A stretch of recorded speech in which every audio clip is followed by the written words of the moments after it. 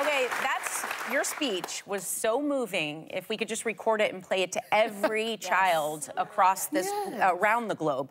Um, it, your win was historic because you became the first non-binary actor to win a Tony. That night must have been so surreal for you. I still don't remember it. I, I, all I remember is coming off stage and being whisked off to press and then being whisked off to my dressing room to get ready for the Tony performance because it was right after my category. It's still crazy. Do you wake up some mornings and say that, no, that happened? I, well, I spin my Tony every morning.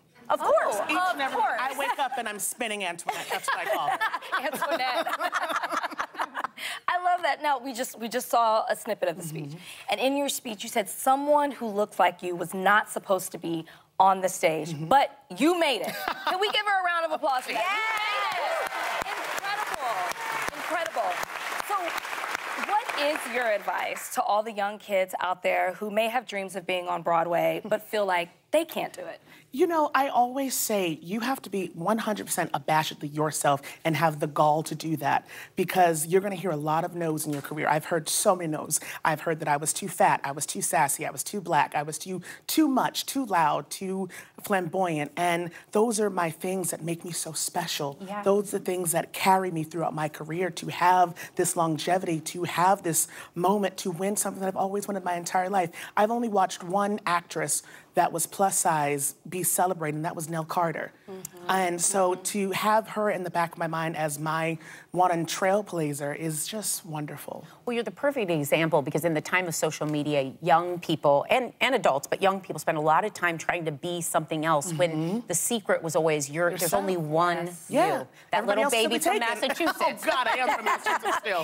no, um, Shucked is about a town that comes together mm-hmm. to get their corn crops to grow again. It feels very Iowa, but it's really fun. Uh, the show is hilarious, but it also has a message of unity and um, collaborations, accept, acceptance. What did you think when you first read the script? It was far too hilarious.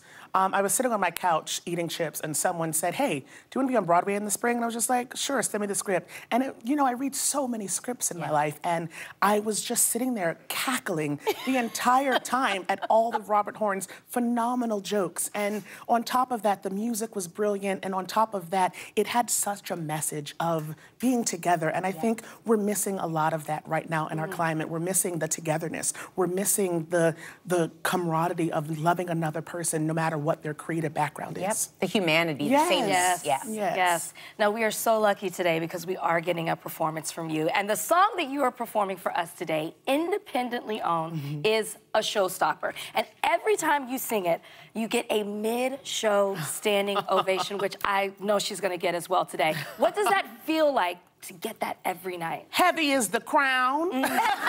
but you're wearing it. But you're wearing it. Heavy is this little wig on my head because I'm not a natural ginger, but heavy is the crown. No, it is wonderful. You work so hard and you pour yourself into your craft. And I poured myself into this song and I poured myself into this literal corset every night. So it is, it's a dream and I'm so happy people are enjoying it. Well, everyone clearly feels that because yeah. not everyone gets that kind of response.